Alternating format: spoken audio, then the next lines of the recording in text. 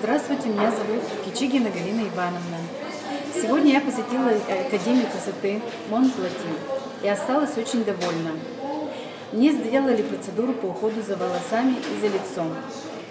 Эффект от процедуры я не очень понравился. Мой консультант, я приобрела косметику, но мне очень понравилась она. Ну, была в поисках.